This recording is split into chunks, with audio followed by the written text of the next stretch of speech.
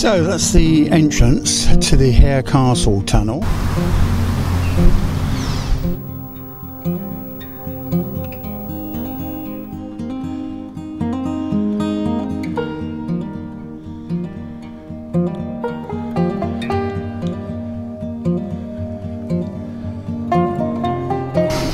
Uh, I'm not quite sure. I'm going to watch the YouTube and just see. Naturally narrowboating, that's the one.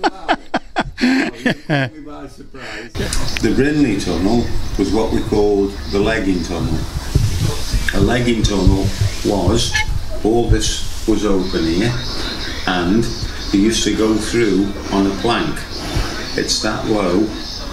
One blow could be on one side, one blow could be on the other, and they go through working the legs all the way through, and it's a mile and three quarters. Hmm. So, house was above, so the tunnel keeper could see straight down the tunnel. Under the bridges, I think they used to work um, a, a 12 hour day, one end from six hours, the other to the six hours coming back. That side there is a new tunnel, which was uh, a, um, a tow path that went through. You'll see the uh, rope marks that are on the side of the tunnel. That was taken out in the 70s. Horses used to go round, come back round, and go up to the top, and that was called Boat Horse Road. So, Wow. and you Yeah. go over the other side, and um, they used to pick their boats up at the other side. Wow. And this is the old tunnel. Really un, really overgrown now. I asked uh, Dec in the office if he'd ever been inside, and as far as he knew in his time here, no one's been through there. But I don't know. I'd like to take a small boat and just to have a look. There we are.